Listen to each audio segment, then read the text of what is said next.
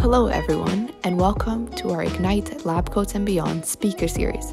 With us today is Dr. Paul Zalzal. Dr. Zalzal is an orthopedic surgeon and runs his clinical practice out of the Oakville Trafalgar Memorial Hospital, where he is the chair of the Research Ethics Committee. He has been performing adult reconstructive and ambulatory trauma surgery for over 15 years. He has pioneered computer assisted surgical techniques in these areas. He is also an associate clinical professor at McMaster University and has a Master's of Applied Sciences in Biomedical Engineering. His list of publications include topics relevant to clinical outcomes, biomechanics, tissue engineering, and computer assisted surgery. He has been employed as a consultant to several biotech companies and has been an active member of design teams producing successful commercial products in fields of computer assisted surgery. He is also regularly involved in medical legal consultations, and to top it all off, he is the co founder of the YouTube channel Talking with Docs that has over 3.5 million views. And so, without further ado, let's jump into the seminar.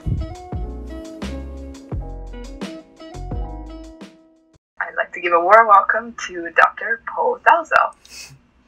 Thank you. Thank you very much. Uh, honored to be here, Danny and Bianca, and thank you so much for asking me to talk. I just want to say before I start how impressed I am with Ignite. Um, I think never in my lifetime have I ever seen a time in the world where science is so important and the general public is really looking at scientists.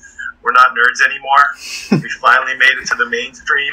Um, you know, people are listening general public listening uh, because you know the science is what's saving lives right now. So uh, your organization fostering research at early stages really is uh, fascinating and it really is timely right now. So thank you for that and thank you for the invitation. It's a pleasure to have you join us tonight. Um, and thank you for your kind words. We're very excited with Ignite and bringing this all to people and continuing that mission. Um, so to start us off, um, can you give us like I know I gave like a very short, quick interview of all your achievements and current positions, um, but if you can give us kind of like an overview of your journey, how you got to where you are today. Okay, sure. So um, I guess the only two parts missing from what you described as doing was father and husband. That's in there too. Most important of all the stuff. But um, my journey, you know, I, I studied engineering at, at, University of Toronto, um, mechanical engineering, um, and then I did a master's in um, biomedical engineering, um, and then I went on to do medical school at McMaster University, uh, and then a residency in orthopedic surgery at McMaster University, and then I did a subspecialty training, uh, fellowships back at the University of Toronto at Mount Sinai Hospital and then um, landed where I am now. Awesome, perfect. Um, can you kind of expand a little bit on why you chose to move from research to medicine and how you still kept that passion for research alive while doing medicine? That's a that's a good question. So, um, I I mean, ever since I was uh, a young age, I was I don't know if you guys remember the show, The Six Million Dollar Man that's probably before your time, but it's about this guy who's in like a crash, rocket crash, and lost an arm and two legs, and they rebuilt him with with prosthetic parts that ended up being way better than his original parts. Made a whole TV series out of it. So I always loved that man machine um, combination, uh, and so you know I studied engineering. I always thought one day I'll do medicine, and to be honest, after engineering, I filled out the application for medicine and then never gave it in because the opportunity to do my master's came up. So I did a year of my master's. I said, now I'm going to do. So I filled out the application for medicine, never gave it in. And I said, I'll just finish my master's. I, had the good fortune of some NSERC scholarships. Um, and then I, I love doing research, but I really missed the, the interaction with people. Uh, that was a big thing for me. So research I did a lot in the lab, but I really enjoyed the interaction with people. So then finally, after my master's, I filled out that application, and gave it in, And that's when I ended up sort of making the switch and going into medicine, um, always knowing that I could try and do research along with it. Awesome. Um, yeah, I think that's something that we all can really relate to. A lot of people are trying to juggle do I want research, do I want medicine? I'm really hearing from someone that's been through that path is um, really impactful and can give us some insight on that too. Uh, can you expand a little bit about? Um, I know some of the projects you're involved in right now is computer assisted surgery. Can you expand on what that looks like in your day to day life in um, combination with your clinical work as well? Sure. Uh, um, and just before I get into that, on the topic you mentioned, you know, medicine and research. I, I remember my med school interview. I was at Western University of Western Ontario in London. And I was in the interview, and the, and the guy said, Why do you want to do medicine? You know, I see you've done a lot of research. I said, Well, I want to do med- clinical work and research work. This was a very intimidating senior physician. And he looked at me and said, It's impossible. You can't do it. You can only do one or the other. I was like, oh, and I was so discouraged. I took that as the law. I thought, that's it. I've got to pick one or the other. This is horrible. Luckily, he was wrong, and um, I didn't go to London for med school, but uh, so I continued doing research. And yeah, computer assisted surgery. Um, I, when I was doing a lot of uh, surgery, uh, I, I, was finding that we, you know, the way we would replace a body part was with uh, less precision than we would, you know, design a car part. It was amazing to me that, you know, stuff so important as a prosthetic being implanted into a person, a lot of the, the cuts and the way to implant it was eyeball, if you can believe it. You're kind of looking at it, that looks straight, that looks crooked. And, I, and being an engineer, I was shocked. Uh, so I started exploring computer assisted surgery. It's called uh, navigation, they call it. And um, the first place I went in the, the end of my residency to visit it, where they were, they were very advanced, and this was Queen's University actually. I went to visit there, and they had developed their own in house computer assisted uh, surgery platform. And I just became fascinated. And then as companies started developing these computer assisted uh, products, uh, I took them on, you know, I embraced them like 50, 10 years ago, a little bit more than maybe 15 years ago.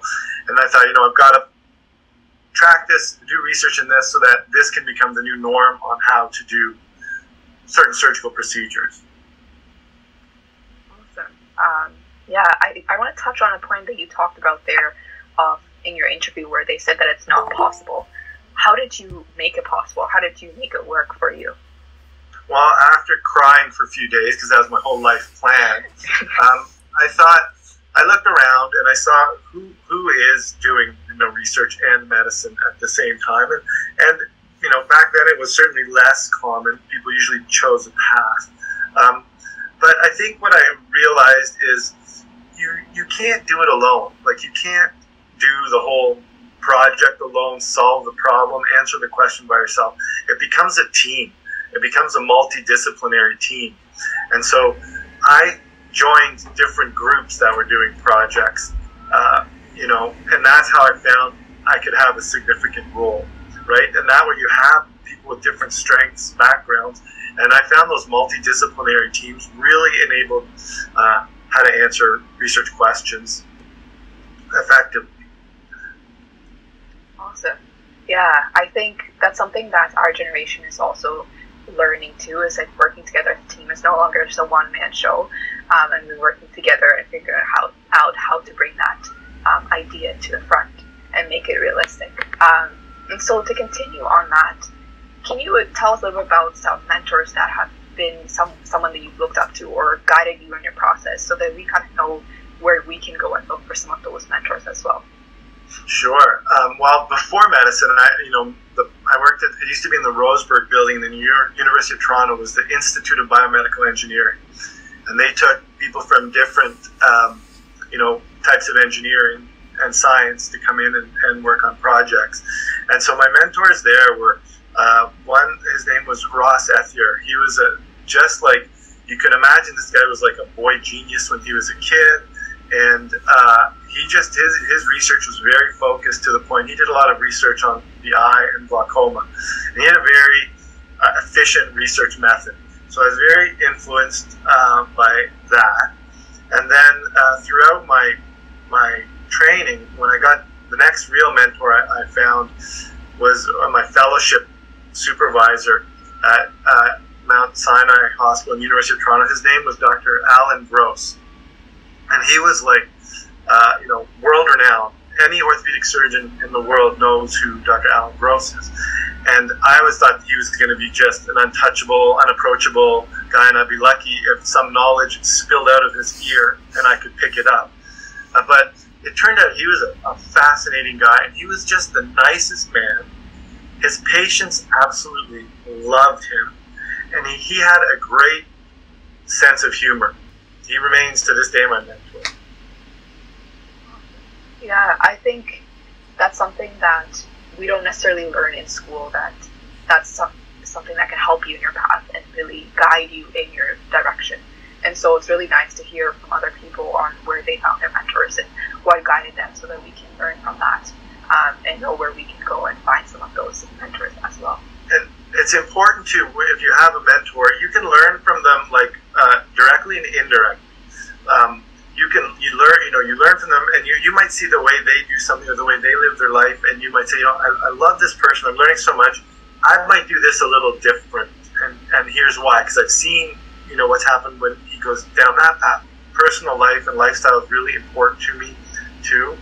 And, I, and I right from the beginning of medicine because I remember when I started my surgical rotation, I opened this, the, the, the first textbook, surgical test, textbook I had. It was actually a paperback. I opened it, and on the first page, the first chapter was the OR, the operating room, and it said the operating room, home of the surgeon. I like closed the book, put it down, leaned back, and like almost burst into tears. I'm like, that's not my home, and I don't want that to be my home. Have I made the right decision? And then that was, you know, that that was really scaring me, and that fear was reinforced. You guys ever watch the show ER? Remember the show ER? That might be before your time. ER was about, you know, just medicine in an emergency room, and the, one of the main characters was named his name was Carter, and he was in a surgical program, and then halfway through season two or something, he switched out of a surgical program and went into a medical program instead of staying in surgery. And I'm like, oh my god, the one book says home of the surgeon. My favorite character on TV just left surgery. What have I done? So I knew from an early age that if I'm going to do this, I got to keep a lifestyle that I can manage. So he was my mentor for professional life, but not personal side of things. You touched on a very important point there of keeping a balance. Um, and that's something that I know myself struggle with sometimes, keeping that balance and um, making time for other things other than school and extracurriculars and getting to med or getting to grad school, whatever it might be. Um, how do you manage to keep that balance? Like what things you implement or um, remind yourself of to keep that balance? Yeah, it's tough. I, I know, you know, I've I've been where you guys are, and I know you're, ba- you're ba- you've got balance. Balance is here. School, work, the rest of the world. That's my balance. My balance is school right now. Get out of my face. This is my balance. and that's fine, right? It's sustainable for a few years as long as you give yourself some breaks, right? I always, mine was always work hard, play hard. Always going through university was work hard, play hard. Because you, you got to have both or you, you won't be able to, you won't get through it. You won't get to the other side in one piece, right? Uh, you can't just get through playing hard, and you can't just get through it working hard. Um, but then later on, it becomes very difficult, um, and you've got to you've got to trust the people around you, and look look at people around you and, and take their feedback, and they'll tell you that they'll say you you're working too hard, and you might not see it, and then you know then you sort of back off and uh, and re- reassess, readjust maybe one or two projects you can't take take on. And one of my closest friends, Dr. Bischoff, he's an orthopedic surgeon in Milton, and you know, he if he if we saw each other working too hard, we'd keep each other in check. And he said to me, he goes, "There's never ever been a surgeon on his deathbed that said I should have worked harder. I should have spent more time at the hospital." I should have poured more into my work. Never in the history of medicine has there been a man or a woman say that on their deathbed. So that really, I always remember that. You know what? You're always going to regret not, you know, spending your lifestyle time as opposed to your work time. So it's a constant struggle, but you've got to you've got to get that in check. Not, I know not right now where you guys are at, maybe not, but down the road you have to. Sound exactly like my parents. They constantly tell me the same thing: work hard, play hard. Um, yeah. Yeah, definitely some things that we should take into consideration where we work on. I know myself especially. Um, I want to jump into a little bit more specifics about kind of your career path. Um, and so, is there some things that you didn't expect that were unexpected, either good or bad, that came with your journey? And how to kind of handle those? Yeah, I think um, residency came a little bit unexpected. I mean, I'd heard that it was like I always say, I love engineering, I love medicine, I made a lot of friends, you know, worked hard, enjoyed it. And then, I got to residency, and at, like now, even to this day, I tell people I would not repeat one day of it for a million dollars. If someone said, I've got a time machine, you can go back, I'll give you a million dollars to go back and just do one day. You can choose which day in your five year residency. Which one would you do? I'd say none. Keep your million dollars and I'll give you another 50 bucks to get out of here.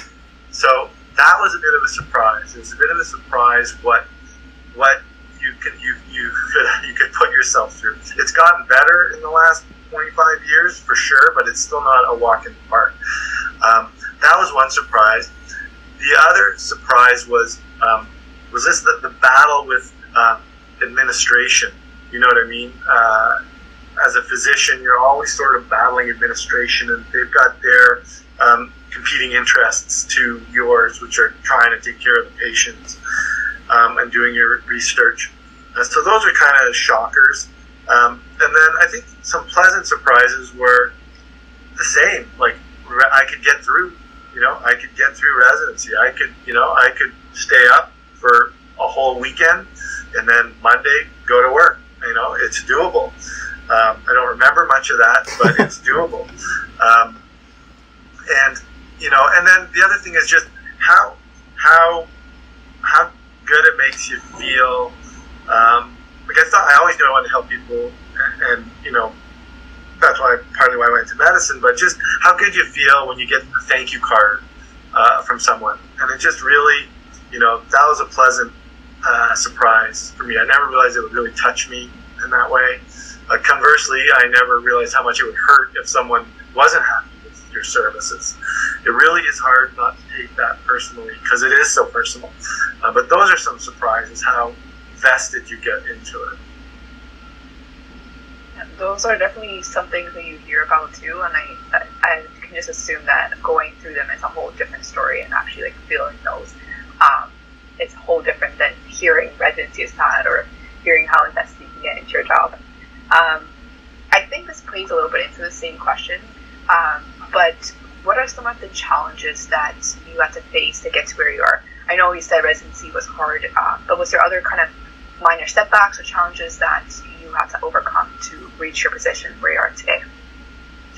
Um, well, yeah, I mean, the, cha- the challenge of getting into medical school, that's the most imminent one that anyone interested now is, is facing, and you guys are facing that.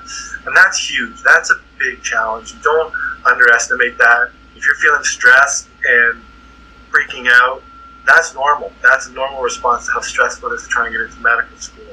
Um, so that that's the most obvious big challenge, right?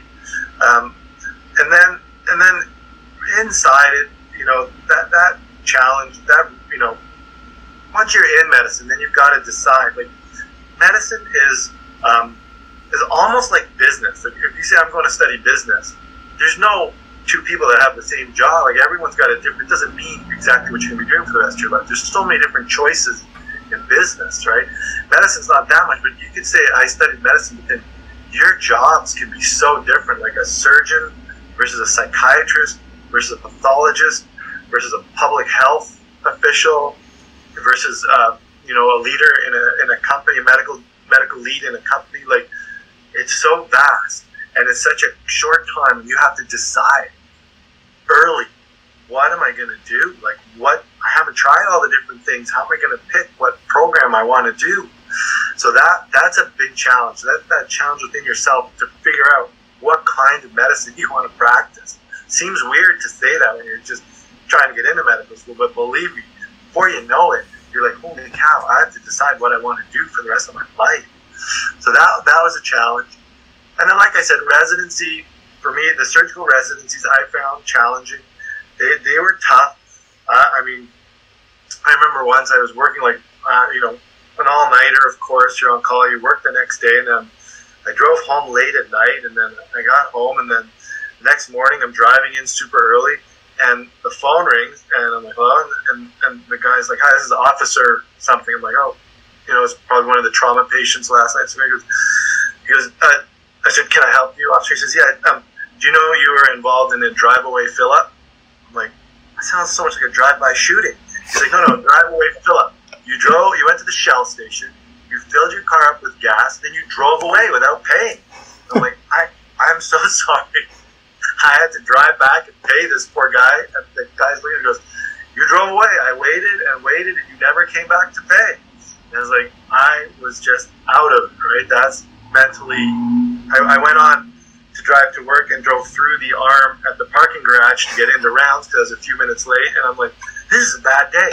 And it was. And it was just like, I probably had one of those bad days a week. So it, that was a huge challenge. Um, you know, and then you're done you finish your residency, you've done your fellowships, and you're like, thank God, I'm, I'm all done with my decisions. Then you got to decide, well, where do you want to work? Do you want to work in the community? Do you want to work in a hospital? Do you want to be in an academic center? Do you want to stay in the in the GTA? Do you want to go up north? Do you want to do rural work? So then you got more decisions, and so those are the, the thing, those those challenges that you they're within yourself, but you got to get over them. Yeah, those, those do sound like some good challenges that I think we all will face our own version of those challenges too. Um, something I want to check back onto is kind of what you were talking about making that decision on which field of medicine you want to go into, and that goes for like any like research field as well. Um, what did, what steps did you take to kind of figure out which area you enjoyed or wanted to pursue? Well, for for me, I knew I loved you know engineering, physics, uh, and that kind of stuff, um, and I I had to find a field that had that in right? Um, I, I love the interaction with people too, uh, but I knew I had to have that. So I looked at things like cardiology because you know the heart is a pump, and my master's was a lot of fluid mechanics. I thought, oh, that's pretty good. You know, the musculoskeletal stuff I liked because of my mechanical engineering background, and then you gotta kind of decide: do I want to be like in, in the medicine field, uh, where it's you know, where it's a lot of diagnosis and treatment medically, or do I want to be in the surgical field where I'm procedure based practice, heavy duty procedure based practice? That's two different worlds, right? And so I I had to I had to you know decide. And for me, I had to sort of align with what I thought was was best for my personality that and that good friend of mine, Dr. Bischoff, put his arm around me and said, "Hey, let's do orthopedics together. It'll be fun." that was the biggest lie he ever told me. But we did go through residency together, and I'm glad. I'm glad with what I chose. I can't see myself doing any other medicine right now. But that's that's really good um, to hear too, and to know that you kind of just have to trust your gut with it and see where your personality fits in that, um, and try different areas, I guess, and see what works best. Um, can you expand a little bit? I know we touched on this in the beginning, but um, can you expand a little bit about how your involvement in research changed from your master's to now and what that kind of looks like on a day to day or weekly basis? Sure. So in my master's, you know, like you guys, I was in the lab all day, right? Um, I loved it. It was fun because it was it was a slower pace than undergrad. It wasn't the same grind, uh, but like I said, I missed that personal interaction. So I was in the lab running experiments, writing them up, um, trying to publish and, and that. Um, and then in, in medicine, uh, it's sort of, I then got more into the team approach of things in, in medicine. And the questions uh, that you're addressing, that I started addressing, were more um, more clinical, not more clinical based, but they had a quicker um, adaptability to real life situations. The first paper I ever published uh, was uh, in, in, residency uh, was um, a uh, um, fractures at the that occur in the bone at the end of a long stem for a hip replacement. there were these fractures that were occurring 16, 17 percent of the time, little cracks in the bone that the surgeon didn't even know about, and we can see them on X-ray after. So that was, you know, that was one of those things where I could, I studied a lot of fracture mechanics and mechanical engineering, and I, you know, was in, intrigued with hip replacement, and that was something that sort of tied it all together. So that was sort of, you know, now I've got a research that has a application to a person's body right away, whereas my master's was more looking at turbulent flow, laminar flow, and, and, and blood flow, and it was like, you know, 50 steps away from ever helping someone clinically, uh, whereas this brought it closer to a clinical sort of application. Um, yeah, I think what we've heard from other physician scientists and people that are so involved with research while they're doing um, their doctor work is that your research kind of shifts in a way to be more clinical and more direct um, in the involvement it has in people. Um, so to kind of follow on kind of what like the schedule of things, um, can you just give us like an overview of what your week looks like? Um, what you, things that you're involved in, how you schedule things, how you manage your priorities. Um, just walk us through some of that. Sure. Um, so typically, uh, let's say it starts on a Monday. Monday morning is a fracture clinic. So I start that at 7 in the morning.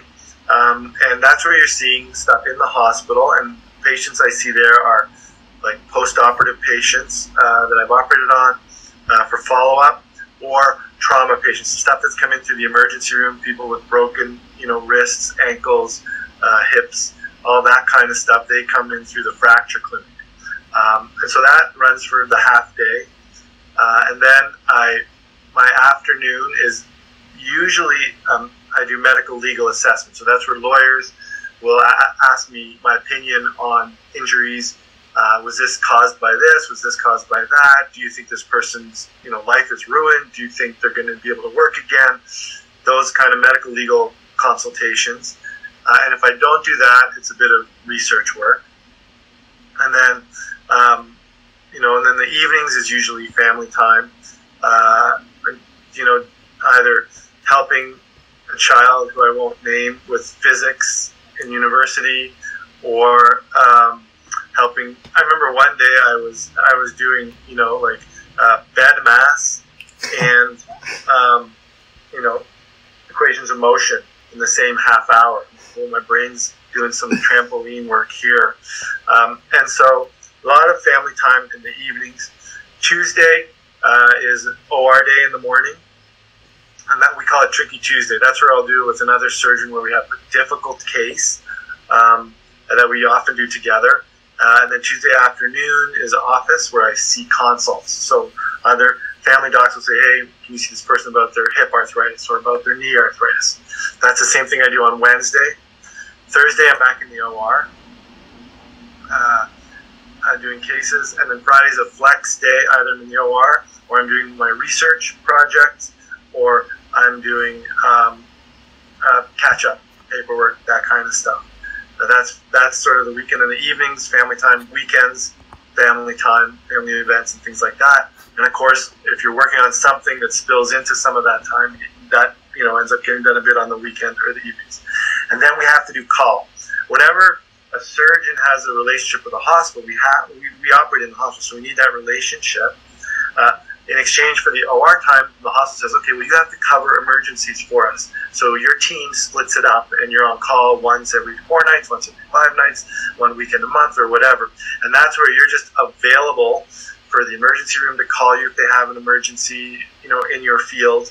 Uh, and you're, you could be there all night, you could be up all night, you could be operating in the evening uh, or whatever, but you have to be available on call. It's called. And that's pretty much what what most of my weeks uh, look like. Great. Um, I want to track back on something that you mentioned on the medical legal work that you're doing. Um, that's something that we haven't touched on yet, and so. Um, can you just kind of elaborate on that? Why you got involved in it? What it entails? Sure. Sure. Um, so medical legal work is it's the kind of stuff that most physicians don't love doing, you know, because docs and lawyers, you know, they don't go out for beers together often. You know what I mean?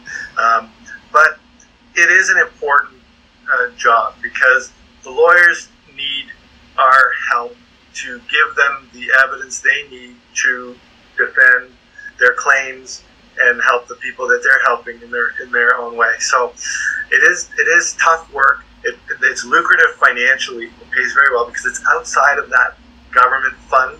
It's more into the private fund, private purse.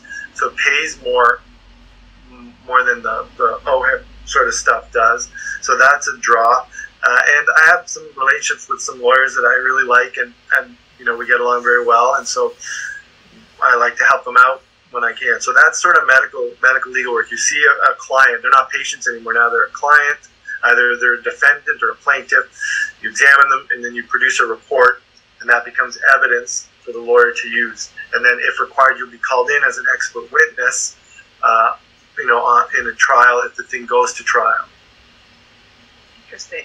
Um, is this something that all physicians do, or is it something you choose to do?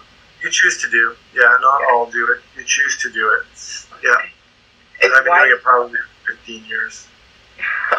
That's been a, so pretty much from yeah. the beginning of your yeah. surgeon pathway. Yeah. That's cool. Um, I think that was it for uh, kind of your your journey, your path. Um, and so before we hand it over to the students to let them ask you some questions, I want to leave you with a final question. Um, what advice can you give myself, all the other students in this call, everyone else that's going to see this video that's at high school or university and want to pursue a path like yours? Okay. Well, I think I think the first thing you got you have to do is try and figure out how to like it. you know, if you're not loving what you're doing, and, and I mean, there's courses you just don't love. You know what I mean? I remember I took I took some my electives. I had a heavy duty science, you know, in engineering, but I took my electives were in the English department. I took English lit and uh, Canadian literature just to get something different.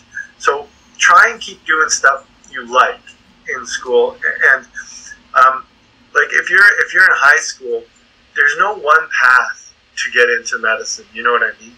Um, the smartest woman in my smartest person was a woman in my med school class, Martha Fulford. You might have read some of her stuff. She's she's an infectious disease specialist. Um, she she came in from the arts. I'm pretty sure she didn't have a science background. She came to med school from the arts, and she was brilliant. So there's no one pathway. Try and find something you like doing in university, like studying. Do that, and look at the criteria for the med school you want to get into and, and incorporate that into it.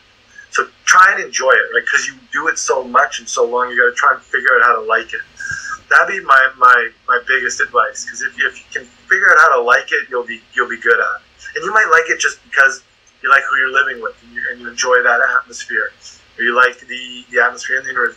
Get to like where you're at and be be happy doing it, and then you, that'll make it easier to be successful. Um, that's probably my biggest advice. Thank you.